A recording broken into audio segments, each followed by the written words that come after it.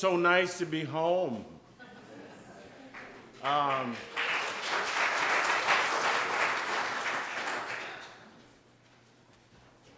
this is from the color purple, uh, where Celie, who's been abused and used, um, has rediscovered her life and rediscovered God is love. And that love lives inside her.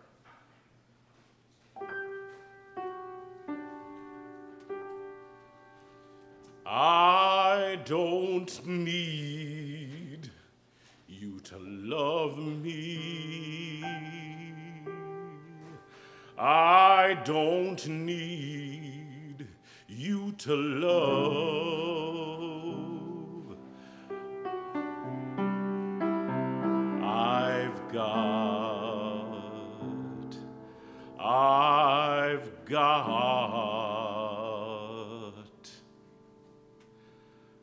Got my sister.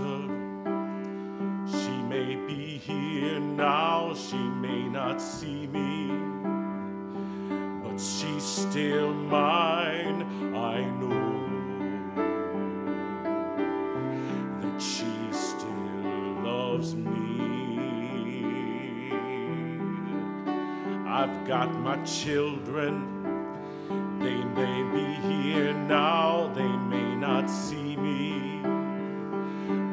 still mine. I hope that they still love me. Got my house, though it still keep the cold out. Got my chair when my body can't hold out.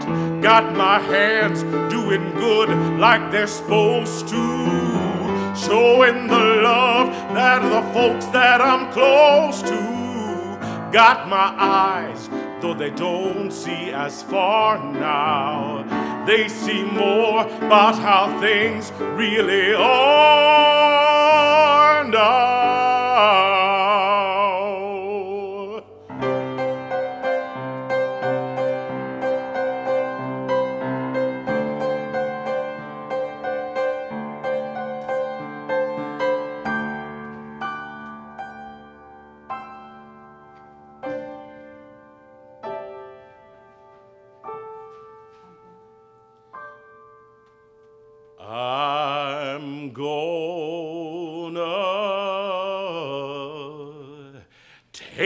A deep breath. Gonna hold my head up.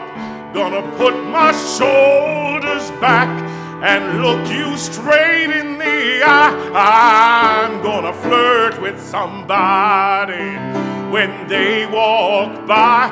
I'm gonna sing out,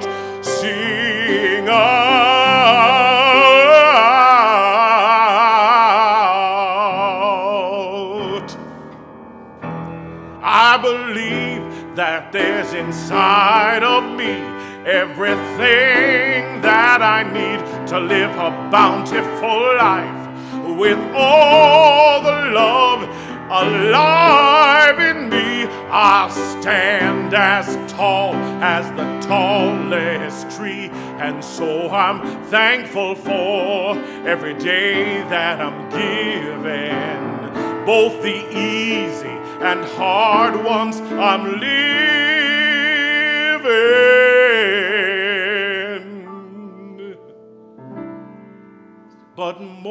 Most of all, I'm thankful for loving who I really am. I'm beautiful. Yes, I'm beautiful. And I'm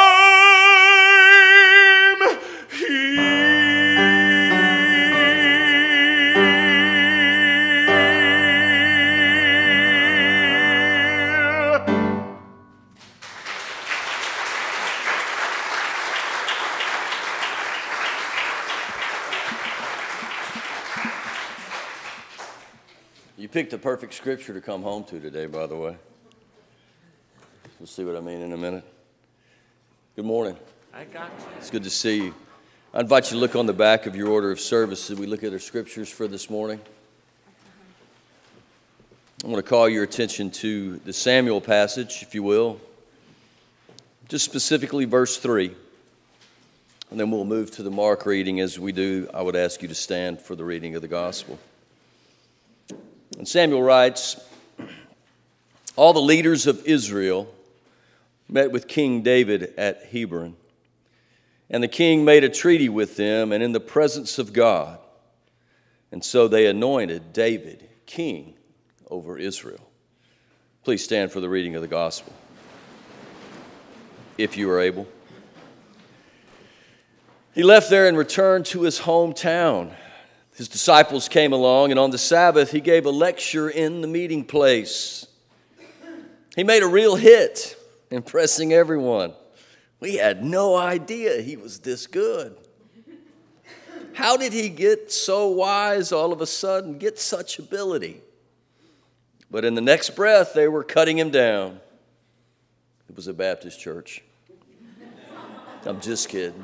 I'm, I'm just kidding. Just kidding. He's just a carpenter, Mary's boy. We've known him since he was a kid. We know his brothers, James, Justus, Jude, and Simon, and his sisters. Who does he think he is? They tripped over what little they knew about him and fell sprawling, and they never got any further. Jesus told them, The prophet has little honor in his hometown, among his relatives, on the streets he played in as a child. Jesus wasn't able to do much of anything there. He laid his hand on a few sick people and healed them. That's all. He couldn't get over their stubbornness. He left and made a circuit of the other villages teaching. Jesus called the twelve to him and sent them out in pairs, gave them authority over and power to deal with the evil opposition. He sent them off with these instructions Don't think you need a lot of extra equipment for this. You are the equipment. No special appeals for funds. Keep it simple. And no luxury ends. Get a modest place and be content there until you leave. If you're not welcomed, not listened to, quietly withdraw. Don't make a scene. Shrug your shoulders and be on your way. Then they were on the road. They preached with joyful urgency that life can be radically different. Right and left, they sent the demons packing. They brought wellness to the sick anointing their body and healing their spirits. The gospel of our Lord for the people of our Lord. Thanks be to God. You may be seated. I assume you've all heard the expression, you can't go home again unless you're a millennial. then you just never leave. If you are the person who has been living away you have changed, and so is home. Life at home has gone on without you, and going home and expecting to fit right back in just doesn't happen. It's like being that square peg in that round hole. I don't really know much about Jesus' life before his public ministry began. And for whatever reason, the gospel writers don't write about it except they tell us when Jesus was 12, he amazed the scholars in the temple. It was obviously not that important to the early church for some particular reason, or we would probably have it written down. I do know this, though. When I was 12 years old, my Sunday school teacher at the original Broadmoor would take us every now and then to the Western Sizzlin, which was right there on I 55 at Northside Drive. And one Sunday, I decided I was going to be kind of funny, and I unscrewed all the tops of the salt shakers in the restaurant. We got there early because you had to go to early church in order to go out to eat after Sunday school. Well, the manager didn't like it that they had ruined a bunch of food, and Mr. Salter was my Sunday school teacher, punny, right? And he was very upset with me. Many, many years later, I was visiting my sister in law who worked at Broadmoor, and all of a sudden, I felt this tap on my shoulder as I was waiting on my sister in law in the office. And I turned around, and lo and behold, there was Mr. Salter. I was actually serving as a youth minister in Baton Rouge at the time, and he said, Are you John Brashier? I said, Yes, sir, Mr. Salter, how are you? He said, Fine. And he kind of looked me up and down. What do you do now, John? I'm a youth minister at Florida Boulevard Baptist Church in Baton Rouge. Puzzled, he stared right into my eyes and said these words Interesting. I figured you would be in Parchman.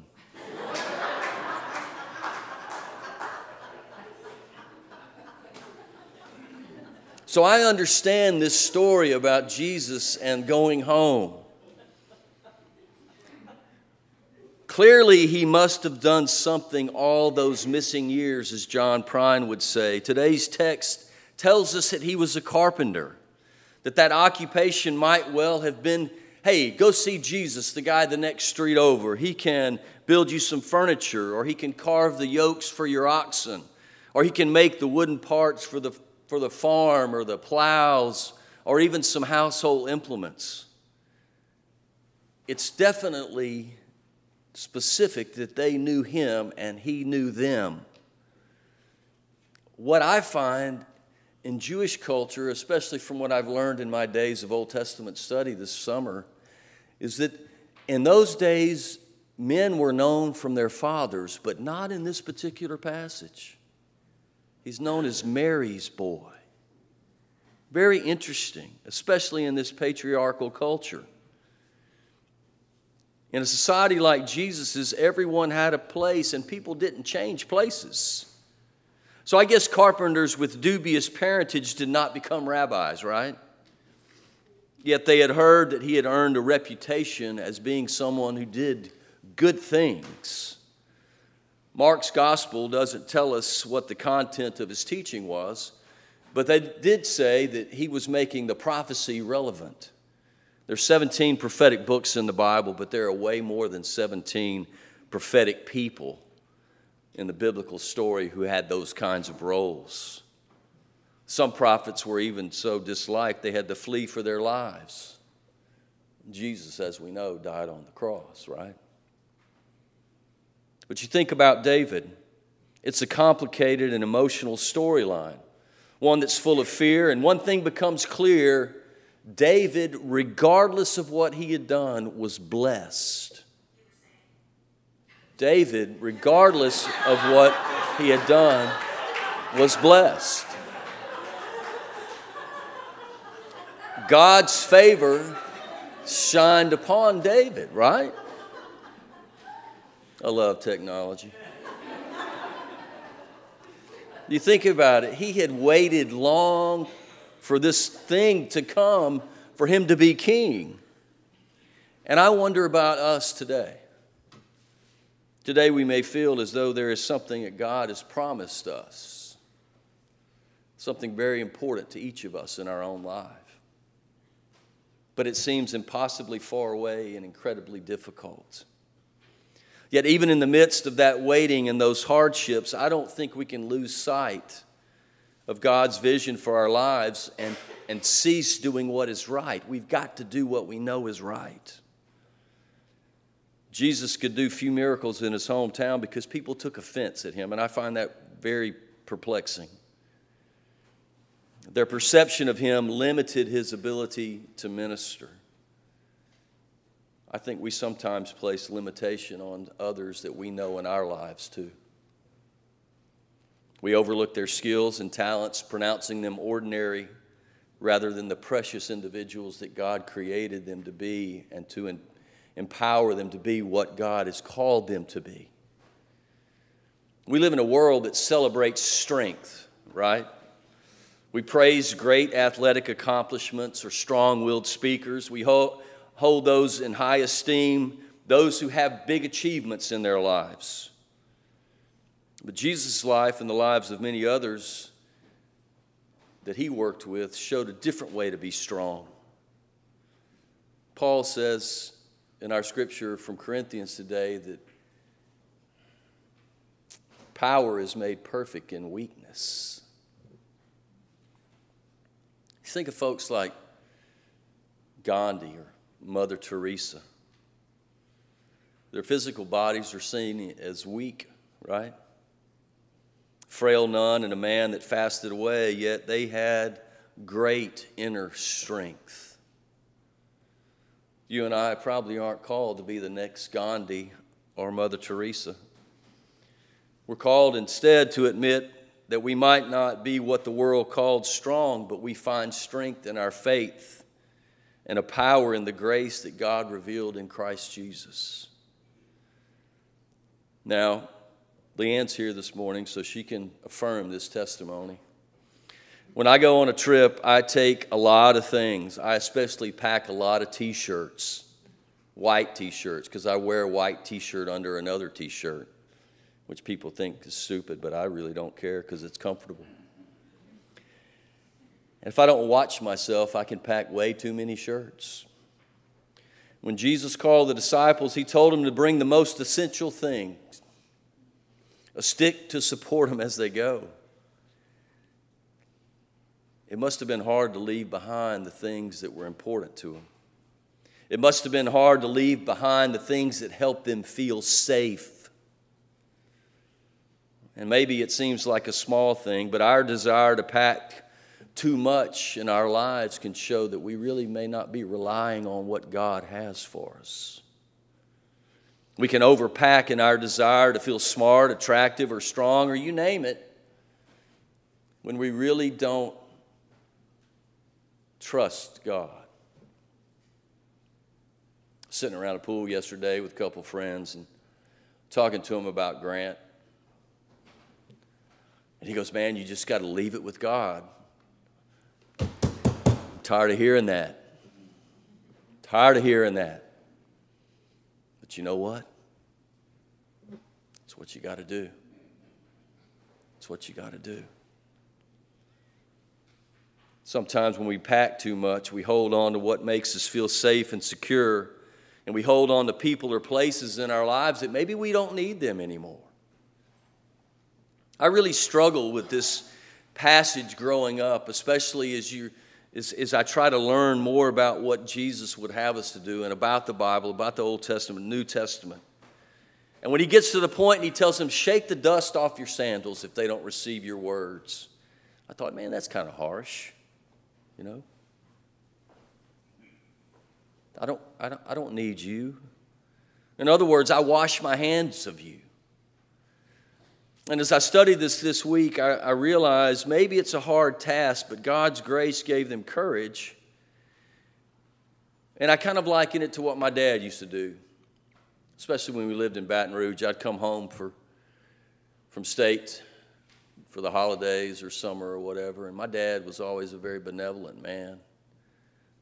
And he'd give 20 bucks here, 30 bucks here to people. And I'd just say, Dad, you know, they're going to go booze it up. He said, I it's not up to me what they do with it, it's up to me to give it.